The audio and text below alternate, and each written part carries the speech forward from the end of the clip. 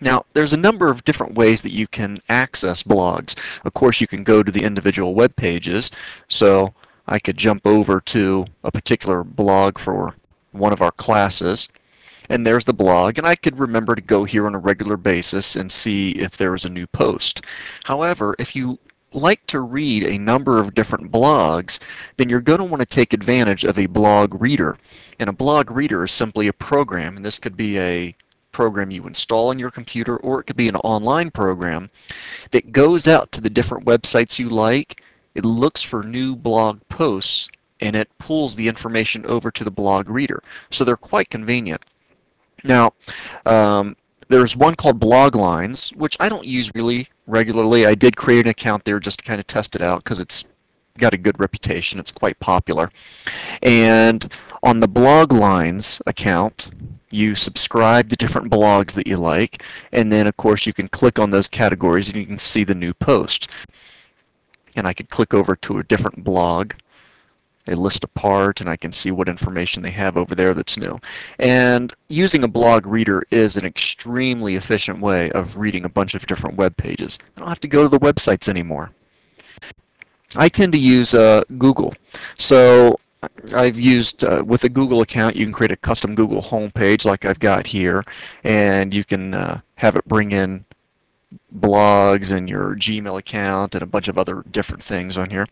But I'm going to jump over to my Google Reader account. And the layout is pretty similar to Bloglines. You got a list of your blogs over here on one side, and as I click on different items, the posts show up over on the right side. I typically use Google Reader. Um, I don't think it's better or worse than Bloglines. I'm just, you know, I've got it set up. It's got all my features, so I'm pretty content with it. Um, so now, that's about it for using a blog reader. You subscribe to different blogs, and then, of course, you can read through them. So I can jump over to my environment category, to the Tree Hugger blog, and I can read all the new posts related to those to that particular blog without actually having to go to the website. Now, if I want to go to the website, there's a link for it. Or I can click on the title of a particular blog post, and that will take me to the post web page. So it takes me to the blog and to the web page for that particular post. So I could read it in detail and perhaps see other information that wasn't included in the blog feed. And if you don't have a Google account, then you can head over to google.com slash reader and of course, it's already signing me in, but let me kind of show you if I sign out what it looks like. There you go, welcome to Google Reader, and you can sign in. If you already have an existing Google account, you can do so. So that's part one, just getting a feed reader that you find easy to use and convenient. Now that I have a feed reader, installed on my computer, or basically I have access to an online feed reader. Now I want to find out how can I find feeds. Now this is actually going to be pretty easy. Think about the websites you go to on a regular basis. Well, the reason you probably visit those sites on a regular basis is because the content is frequently updated. And websites that have frequently updating content will very often have a a feed called an RSS feed or an XML feed or sometimes called an Atom feed. Well, these feeds can be imported into your blog reader of choice. Blogs are extremely popular, so even though you don't think your site may have one, there's a good chance that it really does.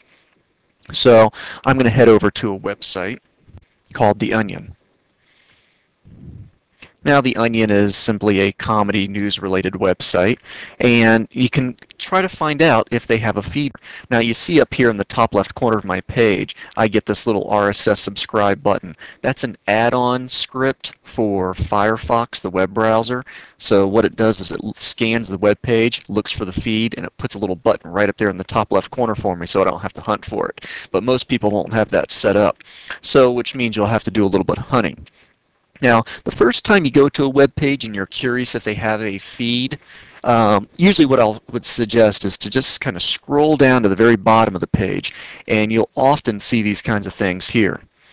Um, this is what really, this is what the Onion web page has provided. They have this little feed button, and you'll see different things. You'll see the word feed sometimes. You'll see this little orange feed symbol. Sometimes you get a little orange button that says XML or RSS on it, but different web pages use different things. So this is what they've got here. And if I click on this, I get to a special page just for me. Since I use the Google Reader and I'm logged into my Google account, uh, I, as soon as I click on a feed page, I get this very convenient page where I can add it to Google. Do I want to add it to my Google home page? Nah, not really, but I'll add it to my Google Reader. All I need to do is click that button. And now, you can see over here, the Onion feed has been added to my reader. That's all I had to do. I had to go to a web page, find the feed button, click on it, and then choose to add it to my reader. And so now I can read all of the uh, the funny stories at the Onions uh, news site without actually going to their site. The stories come to me. Now, if that doesn't happen automatically, I can add a subscription manually. And there's an add subscription button here for my Google Reader. And every blog reader will have some kind of way that you can add a subscription manually. So let me kind of show you how that would work. I'll jump over to another web page and let's see if I can't uh, find another blog here. I'll just go to blogger.com. I really just want to click on a random blog, so I'll just click on next blog here. Personal blogs, especially ones at Blogger, they, they generally will have a feed, although the person who creates the blog may not have put a convenient button there for us. Now once again, these little buttons up here in the top left corner, those are buttons created by my particular Firefox script. So um, very often they are here, but I'll click on next blog anyway. Okay, so now I'm at another blog here. Um, pop, pop conservative, politics, pop culture, and opinion to waste your time with. This is not an unusual topic for a lot of blogs out there. And I'm going to scroll down and see if I can find if the user has made it obvious how I can subscribe and go to the bottom of the page. Now this person just has a little link here, posts and Atom. Atom is another kind of format for blog uh, feeds or RSS feeds. Now if I were just to click on this once, I'm likely going to be taken to my very convenient Google Reader page with my one button add-on. Now that's always the, the nicest way to add it, but I want to show you a more manual way. So let me go back to this. Now instead of clicking on it once, I can right click on this and I can copy the link location. That'll be the web address for the actual feed. And on my Google Reader, I can go to Add Subscription, and I can paste. And let's kind of see this for a moment here.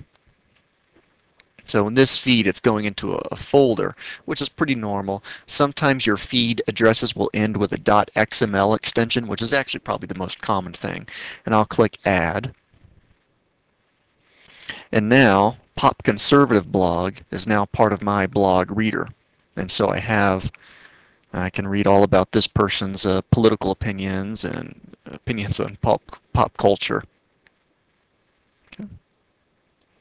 All right, so that was pretty easy too. So I know how to use a blog reader. Just find one, subscribe to it, and start to experiment. Finding an RSS feed is becoming extremely easy these days because pretty much everybody who has a website is going to have a blog and they're also going to have a feed uh, associated with it. So then the issue is just, well, how do you post a comment to a blog? Now to do that, I'm going to jump over to one of my blogs here. Okay, and here's a blog for a class. Now, if you're looking at a blog, you'll often see some area for comments, and different ones will have slightly different procedures, but the main concept is the same. You basically click on a link so that you can add a comment. Um, I'll go ahead and click on this comments area. Okay, and this is test comment for this blog post. You want your comment to be related to the post, not the blog overall, but to the post that you're actually commenting on. Okay, now this blog does not allow anonymous comments. This is pretty normal. Most blogs, when you post a comment, will require that you use some kind of a username or password. Uh, so you may have to register an account at the blog before you can actually post a comment, which is one of the reasons I went for this one. Uh, my particular blog allows anybody with a blogger account to simply post in their username. If I go back to this blog, I now see that this particular post has one comment. And I could click on this to view it, or if I were to click on the permalink, or basically this is a hyperlink for just that one blog post,